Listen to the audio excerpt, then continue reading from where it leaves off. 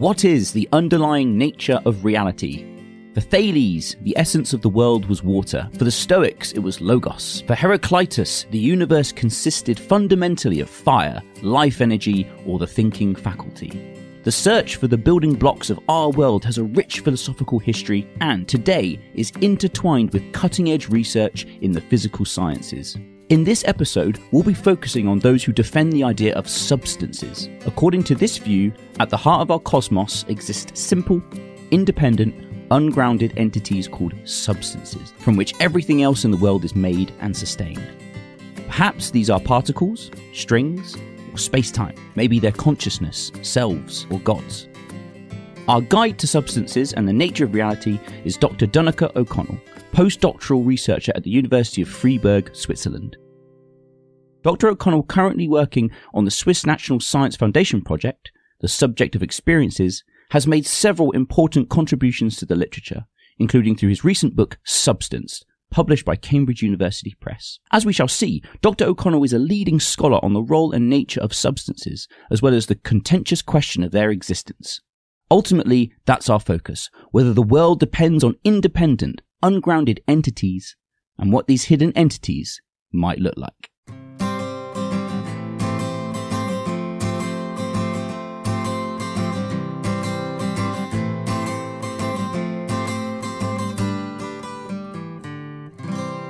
Hello and welcome to episode 123 of the Panpsycast.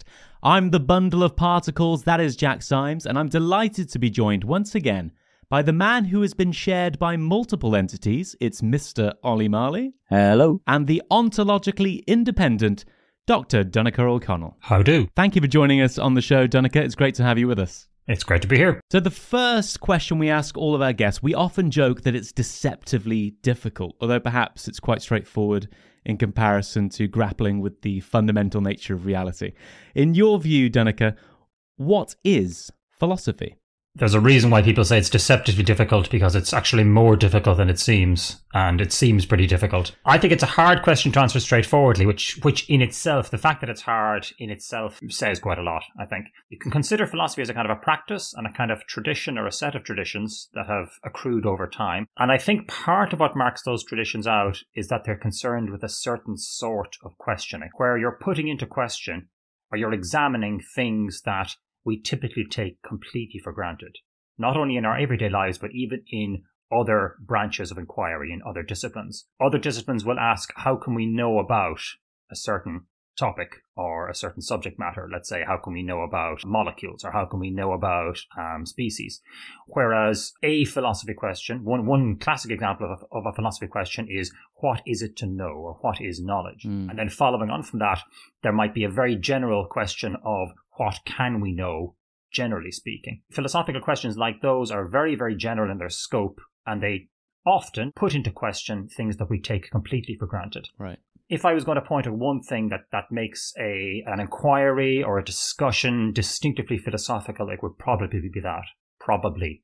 It would probably be that now, Donnchadh, as well as specializing in consciousness and the nature of conscious experiences, much of your current work centers around discussions in contemporary metaphysics. Uh, for listeners who don't know, could you tell us what metaphysics involves and how you came to be interested in it? I've had a rather unusual route into metaphysics because I did my bachelor's degree a long time ago in Cork, which is where I'm from, in Ireland. And there was a module in metaphysics, mm. but, and it was taught by a lovely, lovely man, um, who I think was a Franciscan. And it was entirely on the work of Aquinas. Mm. Oh, and cool. it was pretty hard going for a second year undergraduate. And it left me with a quite distinctive impression of what metaphysics was about and not a particularly favorable one.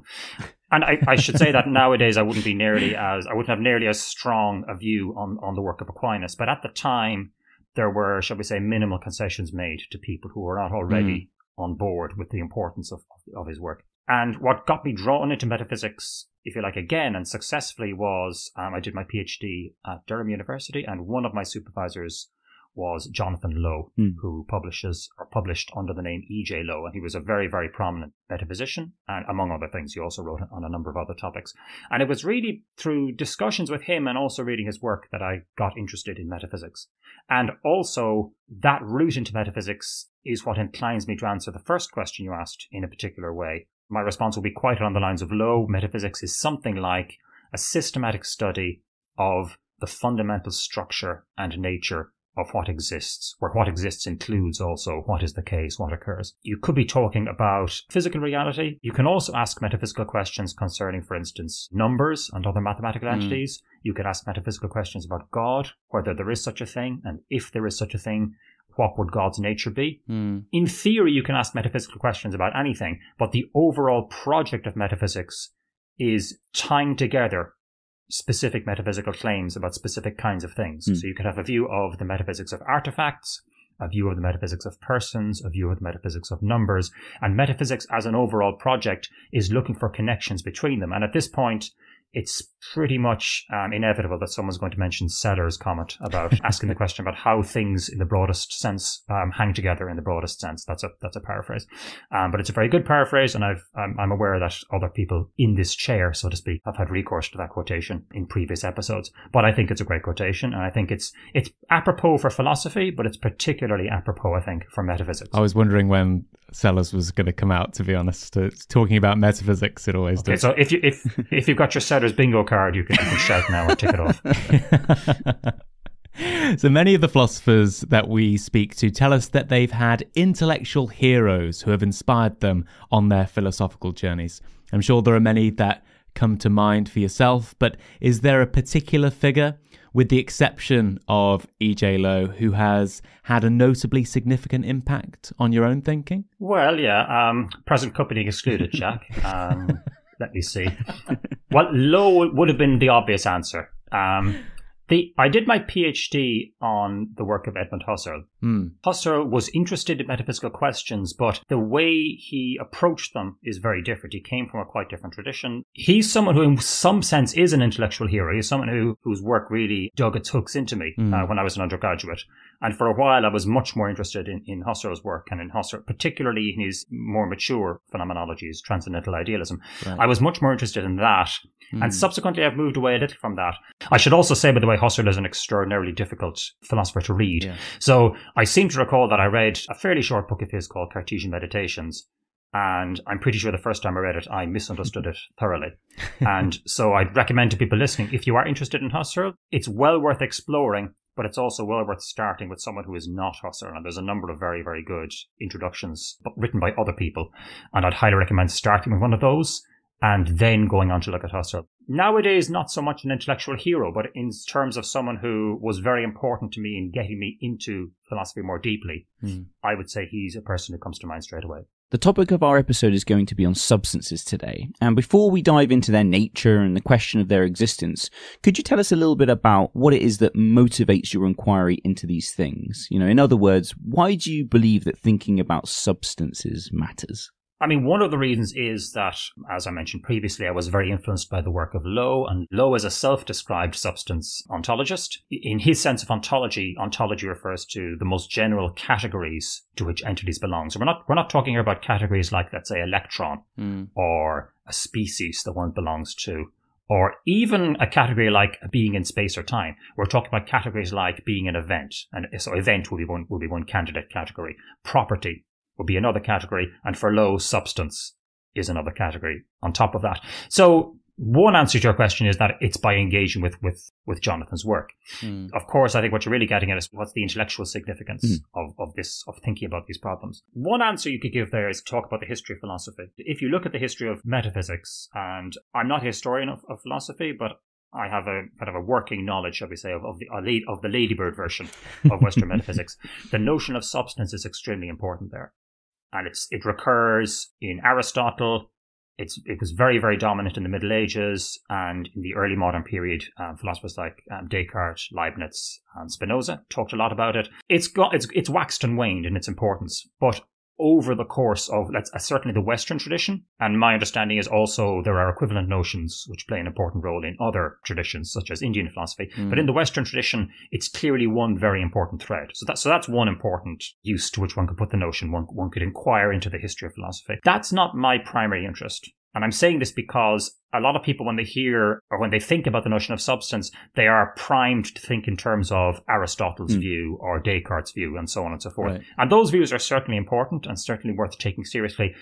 As it happens, they're not the views that I'm primarily interested mm. in. And in the book, I don't really engage with them except by way of a fairly cursory overview.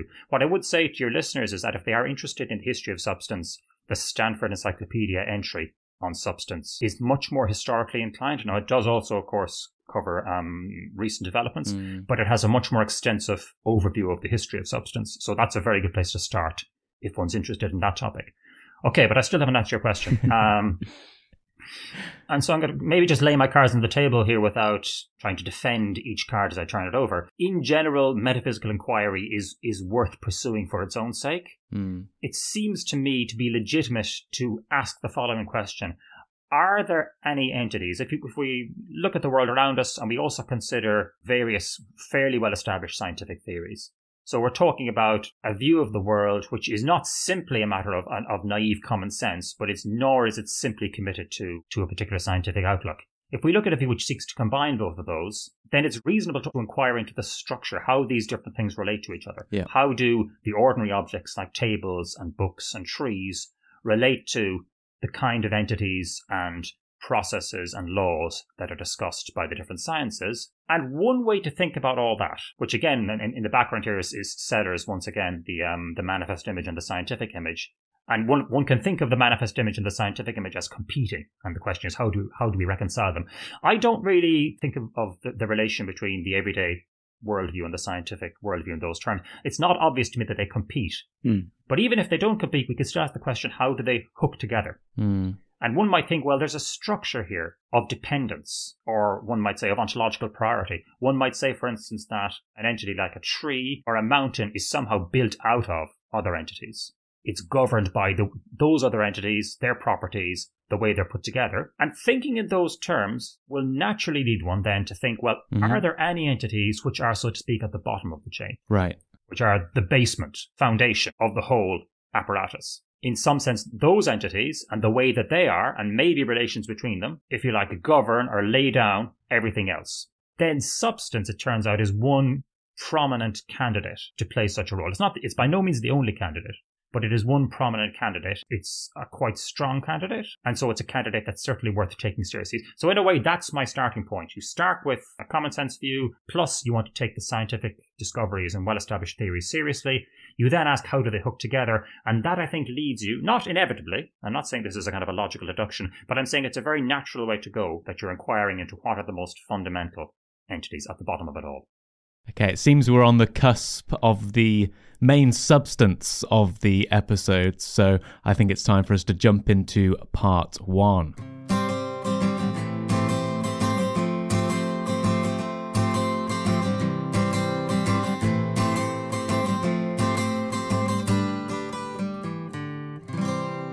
Part 1 Substance. One popular way of understanding the world's nature is that it's hierarchical. The bigger things like skyscrapers, surfboards, sandals, the three examples used earlier of books or things like tables or even mountains, are made up of smaller constituents. And perhaps these are things like neutrons and electrons. Do you think that's the best way to approach the question of substances?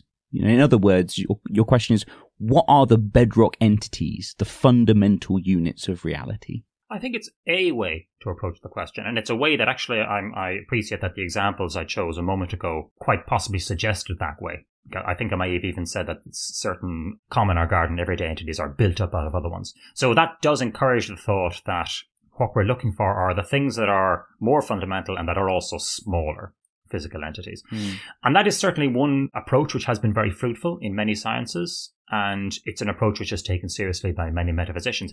I do think it's not the only approach, though. Mm. What I'd like to do is keep a fairly open mind as to which route we ought to take and what assumptions we ought to make about what the most fundamental entities might turn out to be. So, one view is that the most fundamental entities will turn out to be something like a certain class of microparticles. Okay. Possibly particles we haven't discovered yet. When those particles are arranged in various ways, they create other particles, which create molecules and so on and so forth. Mm. So that, that's one route you could take. Mm-hmm. But there's, there's two things to say about that, which complicate the picture slightly. You could take the view seriously that the most fundamental scientifically discoverable entities, Mm. they are the ones that we ought to take to be fundamental and to be perhaps the best candidate to be substances, but we ought not assume that they are microparticles. There's at least two other kinds of option we could be looking at. One of them is that we could be looking at space-time as a whole. hmm So maybe rather than being built up out of out of microparticles, and the microparticles are in some way the, mo- the most fundamental entities, it might be that space-time as a whole is the most fundamental entities, Hmm. and then there's some other way in which um, ordinary objects like trees and tables are in some sense carved out of or depend upon space-time. So that's one thing to, to be said. Another possibility is that particles and space-time are both themselves dependent on something else, Mm. which is not itself spatiotemporal in nature. And here you have a lot of different speculations. So pe- some people have suggested seriously that ultimately the universe is mathematical, Hmm. not just in the sense that mathematical physics is a very good way to describe it, but that in some sense mathematical entities and structures are the underlying nature of reality. So there's a physicist, Max Tegmark, for instance, has, has put this view forward quite seriously. So that's one complication to note. The other complication is that you could say, well, maybe the most fundamental entities are going to be entities that we would describe as fairly straightforwardly physical, like, for instance, microparticles posited in some hypothetical completed physics.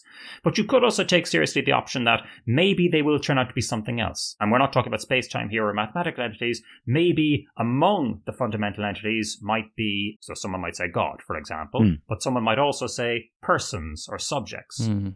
Or someone might say certain values are fundamental. They're, they're fundamentally part of, of what exists or what is the case. At this stage, when you're just asking the question for the first time, the kind of examples we've been discussing might lead one in a certain direction. But I think it's quite important to keep our options open here. Mm. And of course, I should say one other thing, which we'll probably come back to. In asking this question and in considering possible answers, one answer that we have to keep on the table, I think, is that it might turn out that there are no such entities. Ah. It might turn out that the category of substance is empty, and that in fact there are no fundamental building blocks of reality. Mm. That in fact reality is, is structured in a quite different way.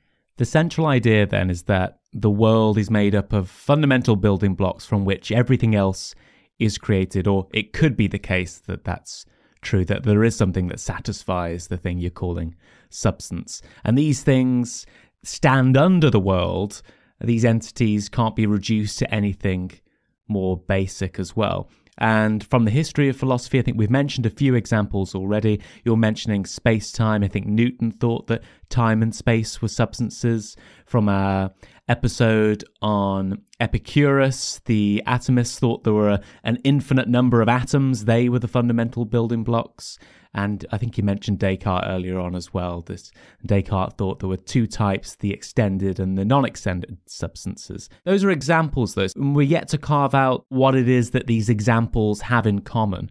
What is it, do you think, Donnchadh, it is to be a substance? How can we clarify this concept further and so we can start to see which sort of things fit the criteria for being a substance? What we've been discussing, you might call, and in the book I, I refer to it as a certain sort of role, so that you that one might posit an entity to play, or one might have an entity in mind that's capable of playing this role, and that role is the role of being something like a fundamental, irreducible entity, Hmm. and also, you might add, this entity, perhaps together with some other entities, in some sense underwrites or can be appealed to in explaining why everything else is the way it is. So that's, if you like, the role. And, and of course, that role can be clarified and sharpened in various ways. Right. In the history of philosophy and- nowadays as well, there's a number of different rival candidates to play that role. So some people have thought that properties uh, are capable of playing that role. So, for example, you might take the property of a book, which has a certain shape, has a certain color, has a certain size. All of these are properties of the book. Hmm. And we naturally attribute the properties to the book. We say that the book is a certain shape. And if we're speaking philosophically, we might say the book has the property of being a certain shape. And there's a way of looking at that which says that the properties are actually fundamental. That the book is something like a construction out of the properties or a bundle of the properties. Yeah. So the, the fundamental entities, the entities which are best suited to play this role, are themselves nothing but the properties. Mm. And I would regard that as a rival account to the substance account. So I assume that substances, in the philosophically most interesting sense, are not themselves properties. Hmm. So Well, what's the difference? Well, one difference is that I assume, and this is kind of going all the way back to something very suggestive Aristotle said, the thought is that substances are not themselves properties or features or qualities of anything else. So for the sake of argument, let's just suppose that Jack is a substance. so Jack is among the fundamental building blocks of reality, let's just say. And I mean, and there are views that take that, that thought seriously, not just Jack, of course. um, and the idea is that Jack has properties, he bears properties. Yeah but he is not himself a property of anything else. It would be a kind of a category error mm. to say that, to, to, to predicate Jack of something else, or to say that Jack is a property or a quality or a feature of something else. So substances are not properties, they're not themselves features of something else. And the, the further thought would be then that you can't analyze substance in terms of some entities being a certain way or having a certain property. And the contrast here is with something like an event. So consider the event of my holding up my hand and closing my fingers to form a fist. Mm. So that's that's a, that's a fairly straightforward, familiar event. You can understand that event in different ways. One very popular way is to say that it's something like my hand undergoing a certain modification. Yeah, a modification with respect to its shape. At the start, it's one shape, my fingers are extended, and then the shape modifies so, so that the fingers and the thumb clench together. Mm. And the idea is that, again, substances are not only just not properties, they're not events. You can't understand what they are as modifications of some other entity. To some extent, we're giving negative characterizations here. Yeah. But we can see the outline as well of something positive. That substances, one thing you would say is that they're particular entities, mm-hmm. which is to say they're not just to contrast them with universals. If you have a, an individual substance, again going back to Jack, we can't literally speak of different instances of Jack. Mm. In the same way that we could speak of different instances of a certain color, let's say. So you could have different objects that share the same color. In that case, you would have different instances of the same color property. We could not literally say if Jack is a substance, we couldn't literally speak of instances of Jack in the same way. So we can say substances are particulars in that way, we can say that substances aren't properties. So properties would give one rival way of thinking of what the um, the fundamental entities are. Mm. Substances aren't events. Substances are not states of affairs. We're making some progress there, partly by means of contrasting the category of substance with other rival categories. And one of the ways we do this is by simply laying down certain stipulations. But another way we, we, we can do it, which is, is by giving clear examples of th- things that we clearly think are not substances. Mm. And in a way, that's easier to do than giving clear examples of what are substances. Because one of the things I talk about in the book is that different philosophers with different starting points have very, very different views as to what substances could turn out to be. Mm-hmm. But I think pretty much everyone will be agreed that the event of my clenching my hand to form a fist is not a good candidate to be a substance. Yeah.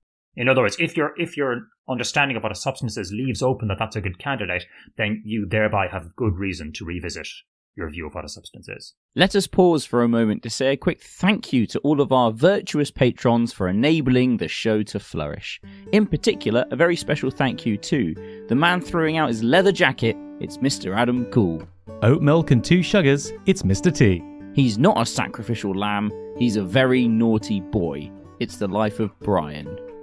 Ramirez. Round and round she goes, searching for her species specific end. Little does she know that she's already there. It's Miss Lily Hooper? Accidentally vegan, it's Andrew Cherryman. Saving the planet one leg powered aquatic journey at a time, it's Pedalo Monte Jano. He can't give up the cheese, it's John Breeden. Can vegans enjoy other people's sliver? Well, don't tell Michael Kisley speeding towards animal injustice, just ignore her carbon footprint, is Vivian Carrera. Freeing racehorses and taking them for leisurely strolls, it's Walker Barnes. And last but not least, his name is bigger than a humpback whale, with more consonants than an elephant has neutrons. Its pronunciation can only be grasped by dolphins through echolocation. It's Maron van der Kolk. If you're enjoying the show and you want to help us fulfill our ends, then please head over to patreon.com forward slash panpsycast to show your support. A link is also in the iTunes description. Right, let's jump back into it. In your book, you propose the idea that substances are independent, that they aren't determined by anything else, that they are ungrounded, that they aren't made to exist by anything else. They're ultimate, that they exist in their own right. They're simple, and if I'm not sure if I'm phrasing this correctly, that they can be unified. Now, I guess our audience can decide whether Jack can be all of those things uh, and be a substance. But would you mind just elaborating on this final criterion for us? Does it mean that the fundamental building blocks must be able to combine with other fundamental building blocks in order to be one of the fundamental building blocks of reality? I'm inclined to say no because I want to leave open the possibility that there there is only one fundamental building block, which of course in a way is, Yeah. is, it sounds very odd and it really strains the metaphor, uh, which is already pretty strange, it has to be said. Um, but if one thinks that there's just a single substance, be it God, be it space-time, it seems very odd to, to, to insist that this entity must be able to combine with other fundamental entities, given that you've, your starting point is that there are no, no such other fundamental entities. But if we assume that there are multiple substances, Hmm. then depending on what we take them to be, you recall that the, the initial idea we started with was this idea of figuring out the structure Mhm. of reality as it, as it strikes us, Hmm. first off the bat. And one way to go is to think of certain things as constituted by or as built up from other entities. And certainly, if you take that view seriously and you think that substances are the fundamental things at the bottom level, which, which then can be combined in various ways to form other entities, if you take that view, then yes, it's going to be important to have something positive to say about how substances can tie together Yeah. to form other entities. I do want to maybe go back though on some of the, the criteria you mentioned. I think, I mean, you mentioned several there. You mentioned that they're independent, they're ungrounded, Hmm. um, they don't exist in virtue of anything else, I think you said. And you, you mentioned unity and simplicity. I think I'd m- maybe just slightly clarify there.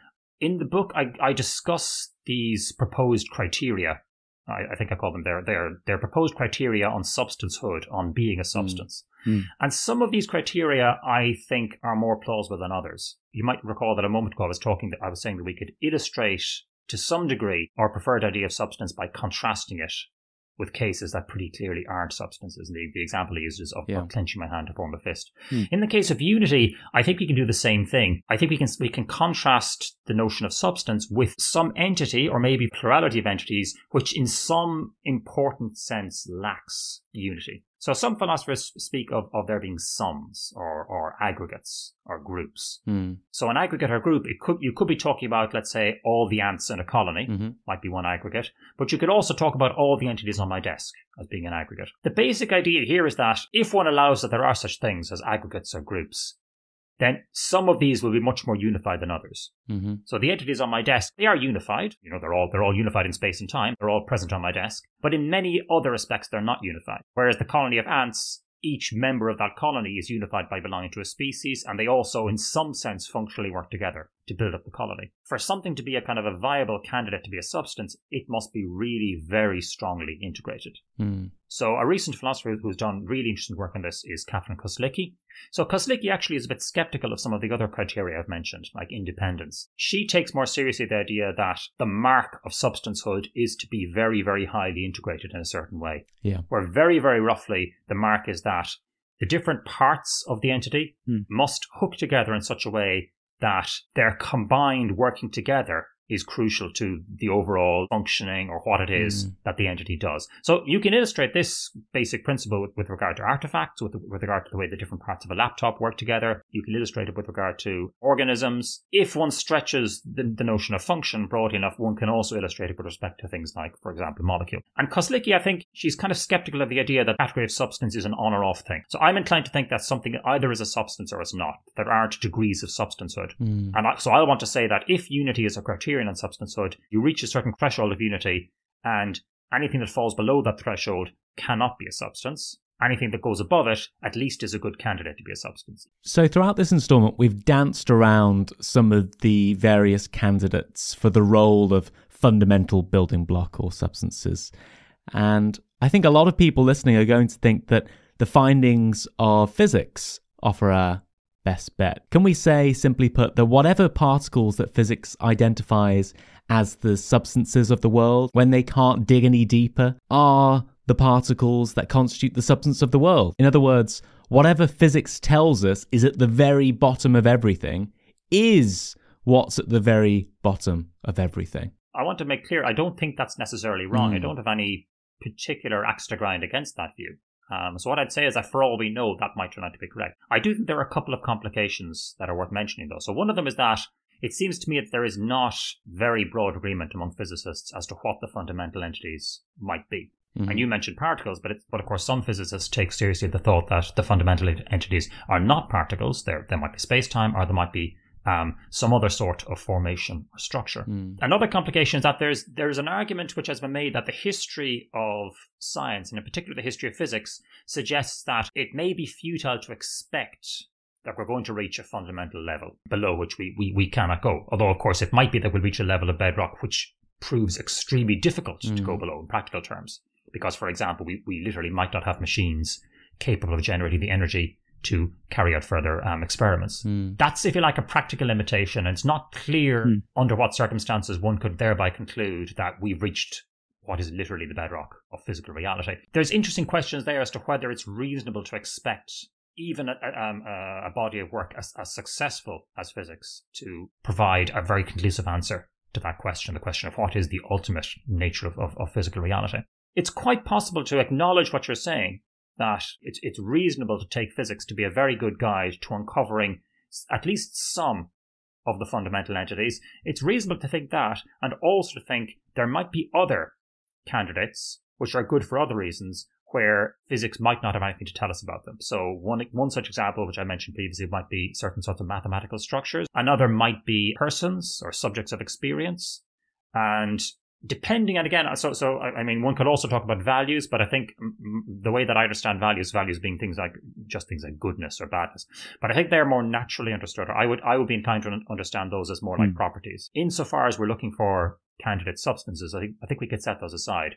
If we think there's reasons to think that persons are candidate substances we probably aren't going to expect that we can give an account of what a person is in terms of the findings of physics. One might also think the same thing about organisms. Now, this is a bit more controversial because, of course, there is a part, I think, of the layperson's worldview. Well, biology can be reduced to chemistry, can be reduced to physics.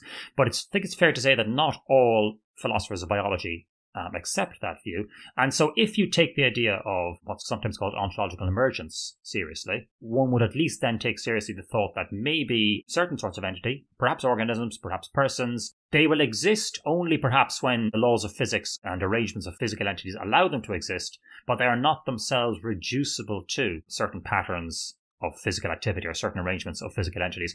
So if one makes those assumptions, one will be able to put further candidate substances on the table, be they persons, be they organisms. So, okay then, uh, someone could argue if the world is made up of fundamental entities, then there will be these simple, combinable, independent, ultimate units at the bedrock of the world. Yet you haven't given us any real reasons as to why we should think these substances exist. In fact, just then you were a bit skeptical of physics' ability to do so. So, in your view, Donnchadh, what are the best arguments for the existence of substances? Okay, so I'm, I must confess at this point, I'm not clear that there's any really strong arguments for the existence of substance. The category of substance is a very interesting one, and the question of whether there are substances and other related questions are very interesting and worth exploring. Mm. But like a number of other areas in metaphysics, what we find is a plethora of competing theories and views hmm. and not a whole lot of agreement. The short answer is that I don't think it's reasonable to expect there to be any sort of knockdown argument. Part of what you find is some substance theorists will simply work with um, certain paradigm cases. Hmm. They'll simply say, well, I'm, I'm assuming for the sake of my argument that such and such a thing is a substance. And generally speaking, the examples that they choose will not be terribly controversial. To give a historical example, Aristotle, who some people think is the first person to talk about substance in, in the sense that we've been discussing. He introduces the notion of substance and gives examples of things like horses. Hmm. And I think he might give an example of persons as well. And of course, most of us will, will, would agree that horses and persons exist. And what's at issue is whether they, they really carry this, this ontological weight hmm. that we want to assign to substances. So the first point to make is that one could appeal to examples, but those are only going to take you so far. What we'd really like, I suppose, is an overall argument that the best way to think about the world is in terms of its containing fundamental entities and the best candidates are these are substances. Probably the best known of these is an argument from vicious regress. Hmm. So the thought was let's let's let's go back to the, the, the picture we started with, which is of, of a world full of ordinary everyday objects, and we can start asking questions about what depends on what, or why does such and such a thing exist. Yeah. One could start answering those questions in terms of what causes what, but what we have in mind here is something a little bit different. It's more like what constitutes what, what makes something the case. Mm. So the thought is, just to give an example, uh, the desk at which I'm sitting, one can give a causal explanation of why the table exists and why the table is in my room. But the kind of explanation we're looking for is a little bit different. It, w- it would be something like, what does the table consist in? Mm. Or um, we try and give some, you might want to give some kind of analysis of what it is for the table to exist. And it seems, or at least many people think, if there is an, a positive answer to such a question to be given, it would not list the actual causes of the table, Mm. being that a carpenter made certain bits of wood and certain other people maybe fitted it together, the different parts. So that looks like a perfectly valid answer to one question, but it's not the answer to the particular question we're looking for. hmm So then the idea is that, okay, we're, we're, we're, we start with a question along the lines of we're looking for a certain sort of explanation of why there are entities of a very general sort, Yeah. ordinary everyday entities like um, tables, trees, uh, mountains, and so on. Mm. And we're looking for an explanation of, of what their existence consists in. And the thought is that if we answer by positing other things, we can ask the same question again. What, like, for instance, we can answer by positing the existence of molecules. And then we say, well, what does the existence of molecules consist in? Mm. and then we go to atoms, and then the question arises again. There's a kind of a principled problem with this kind of answer. Right. You never reach a fully satisfying answer, an answer that kind of closes off the inquiry, as long as the answer to each specific question posits an entity which itself stands in need of an explanation of the same sort. Mm. The kind of problem which you're trying to answer recurs at every level. And some people think that this is a sign that something's gone wrong with the explanatory project in the first place, and that the only way to really solve this is to say that there must be entities at some level where you cannot give a positive answer of that sort. There must be entities where you cannot say what it is for this entity to exist is blah blah blah. Yeah. And those entities will be ontologically irreducible and fundamental. And sometimes people illustrate this by reference to examples where it seems intuitively that something's gone wrong. So an example, a, classic example would a scientist is given a lecture and at the end of the lecture, the scientist is approached by the member of the public. Mm. And the lecture was about the Earth and the solar system and, and its place in the galaxy. The member of the public rebukes the scientist and says, well, you're wrong because what's actually going on is that the Earth is sitting on the back of a giant turtle. and the scientists ask, well, what's the turtle sitting on? And the answer is famously turtles all the way down. and the thought here is that there's a lot of problems with that explanation. Hmm. There are many, many problems. But one of the problems is that it just doesn't seem like a very good explanation, Yeah. even even waiving all the other issues to do with lack of evidence. I, don't, are the, I mean, in this case, the turtles wouldn't be floating through space, actually. So I was going to say they're floating through space, but they're stacked in space. but the, the thought might be that, well, in a sense, that explanation goes wrong right off the bat.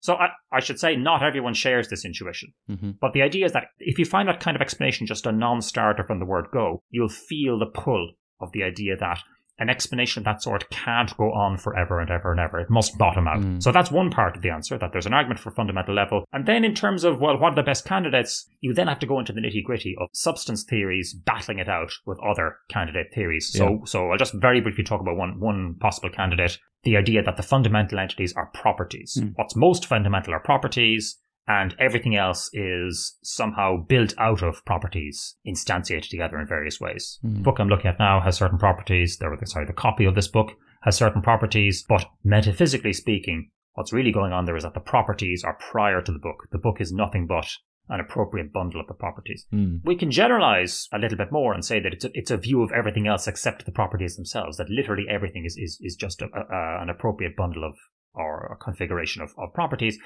And this view faces well known problems, some of which are a bit technical and fussy, but the overall structure of the argument here is that if we agree that there must be, or we have reason to think that there are some fundamental entities, Mm. we're then looking to compare and contrast and weigh up against each other the competing theories. And at least some of the rival theories on offer the view that properties are fundamental, the view that facts are fundamental, which, for instance, the logical atomists seem, seem to hold. Um, so, at one stage in his career, Bertrand Russell seemed to think this.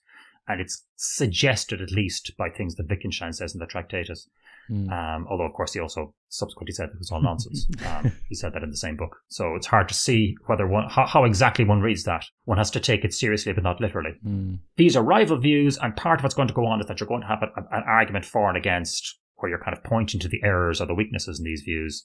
And then proponents of those views are going to argue against substance theories. So it's going to get down to that level of nitty gritty. So the short answer to your question is that probably we can't expect a really neat argument as to why there must be substances as opposed to fundamental entities of some kind. We're running out of time, so I don't think we've got chance for me to ask my question about turtles all the way down and defend the view in any detail. so we're going to leave it there for now. But in our next installment, we're going to be exploring some of the main objections to the existence of substances. But for now, their existence is going to remain A mystery. The Mystery Philosopher.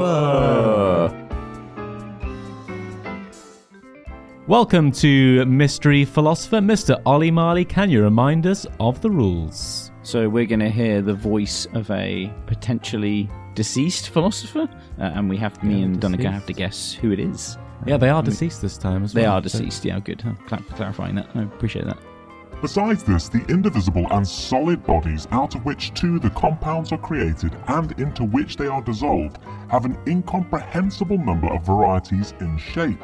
For it is not possible that such great varieties of things should arise from the same atomic shapes, if they are limited in number.